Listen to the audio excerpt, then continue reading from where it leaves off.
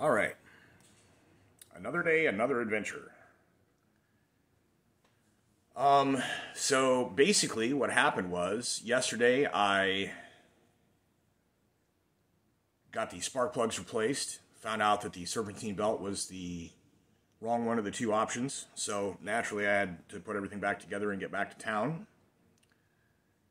Uh, managed to get the belt swapped without a receipt. I think I mentioned that in the previous video. Got back, come to find out the brake pads that I thought were the right ones because I looked them up for Silverado, but it never mentioned a, a weight class. Uh, I thought they were good. I assumed they were good. What do they say about assume? It makes an ass out of you and me.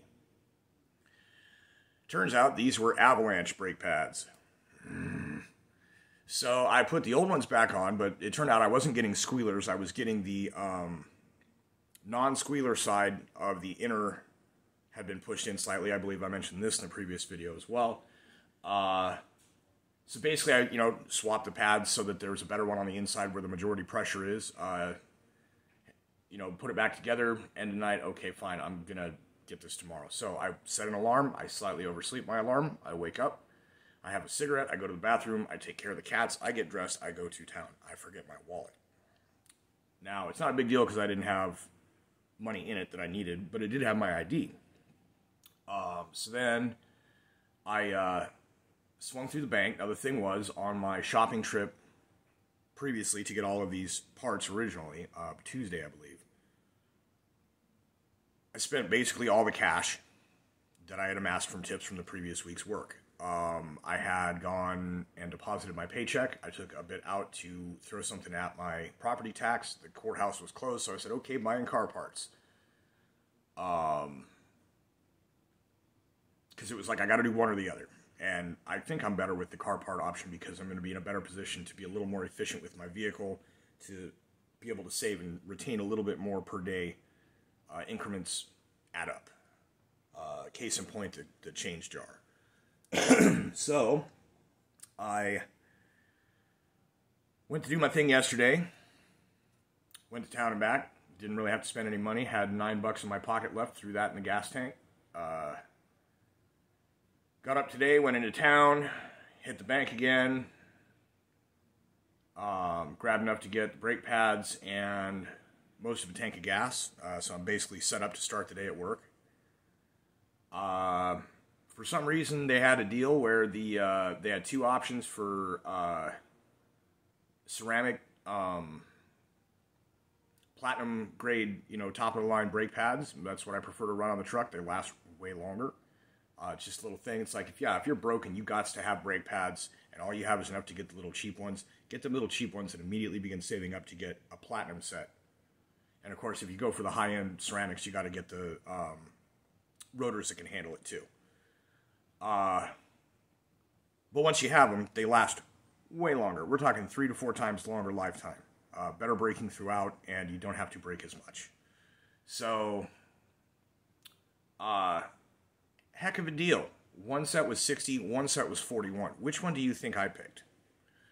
Uh, so then I threw the rest of it into gas packed cigarettes and a coffee at the gas station. The gas station has a policy where you have to present ID. I always have it ready.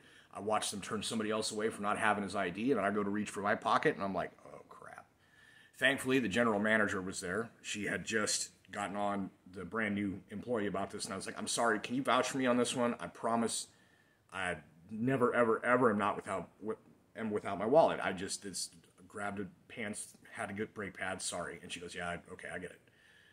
Um, because I was like, I got to be at work tonight. I cannot drive on the bad brakes. I had the wrong ones. This is, I'm not trying to tell you my life story. That's what it is. She knows I'm a talker. So she says, okay, this time, this is, and she tells the clerk, she says, this is your one one that I'm going to have you do on this one on. And I said, dude, trust me, I promise. Next time you see me, I'm going to have my ID ready when I get cigarettes. This is how I roll. I understand the clerk's job. I do not grief the clerk about ID because it's just their job. And it's not like a freaking vaccine passport. It's an are you old enough? Prove that you're old enough. Which, you know, that's a whole other argument about whether or not that's legit. I don't want to get into it. So, anyways, got that took care of. Uh, put in a decent amount of gas, got uh, back home, sprinkled in rain and trying to give me anxiety. But when I got back here, it wasn't too bad, and the ground was not even wet enough to have softened much, if any, from yesterday. So I was like, okay, I'm just not parked in the same spot The issue with working on gravel with a jack stand is you have to make sure that when the weight on, of the truck comes down on the stand, that you know it's going to sink through the gravel a little bit. You want to make sure that it doesn't break off a rock and jolt and fall, anything like that. So it's a very careful, different process. It takes me, it took me as long to get the jack situation situated, lift it, put the stand under it to the correct height, and get the jack down, and then lift up the control arm to get the tire off. It took me longer to do that than it did to do the brakes on each side. Um, just as you know, an indication, the brake pads were super super simple. We got new slider hardware, we got fresh grease, we got brand new pads, and it looks like I'm probably going to have to replace that driver's side caliper as well as the uh, rubber brake hose just in case. And then eventually it'll be a good idea to get the other one on the front too because they're about the same age. Um, but with time, this one wore down to the point that it heated just enough it was sticking. Um, I may have ruined my caliper. I'm not sure. The other thing is, when I took the, the driver's side set off and did that one first, I had to put the, the bad pad on the outside, and even just at that bit of two town and back, had put in a 32nd of an inch. And this is not an accurate size. I'm just saying, inky, tinky, little tiny groove from where one of those, uh, it's it's almost like a, a metal stud that is like support for the caliper to push through the pad onto the the friction material. Um, that and, and maybe it's embedded in the friction and I don't, I don't, I don't know. Anyways, it, it comes up a little bit above the surface of the metal brake pad, like the, the metal surface behind the, the friction material. and it had made a groove just from the trip into town. No hard braking. I was going very easy because I knew that that was the thing with that. And yet, that's what it did. So when I do my caliper, I'm also getting a new rotor. Uh, eventually, all fours will get new rotors, new pads, probably new calipers because the ones on it are a few years old. And when you live on gravel and you drive it a lot like I do, this is going to be a thing to go through. Thankfully, it's a fairly easy process. Now, being out here by myself, not in a shop with somebody that might come in to help or whatever, I'm definitely going to have to invest in another pneumatic bleeder because the one that I had from five or six years ago is broken. Uh, they wear out. It's cheap. So, um, that was today. I got all of this done. Uh, I left here about one or one fifteen. I got done at about three thirty, and that included the trip to town and all the shenanigans to get home, and then do the job. Uh, it went very easily. It's a good opportunity to look at how things are doing in there, and um, yeah, so uh, I should be good to go for driving. I'm currently waiting on towels in the dryer so that I can take my shower get ready to go, and uh, should be able to get there just in time. And like I said, I already got cigarettes, a tank, three quarter full of gas. The only thing is, uh, once I get to work, I'll have to go about getting a soda after my first run. Other than that, I'll be ready to just be in the groove and grind all night. It's the goal.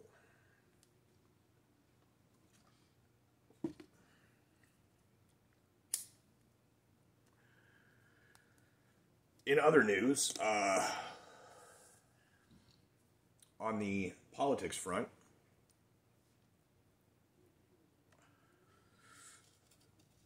some pretty hilarious hashtags going around. At this point, it's undeniable. Everybody hates the current president and his administration, except for like a handful of psycho idiots. Hey, Steve.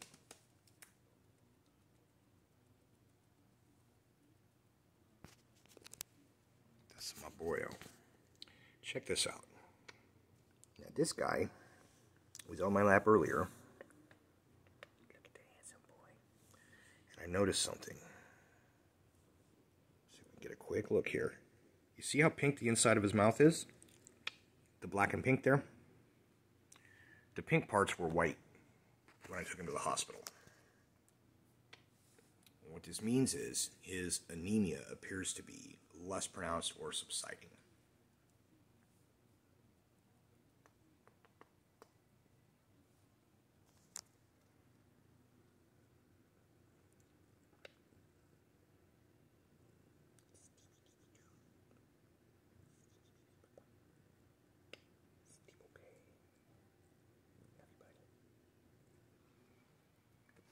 So, that's what I got. Uh, Vehicle Saga is at a close for the moment, with the next chapter uh, already foreshadowed. Uh, Mr. Cat Guy here is hopefully, hopefully getting better. Seems like it. That color of his gums was legit the color of that ceiling. And now it's more like that. It's a very big deal. So, everybody have a fantastic Friday, even though you probably won't see this until late Friday night. I, okay, sorry. Retros- retroactively, I hope your Friday was great. And uh, may Saturday be great as well.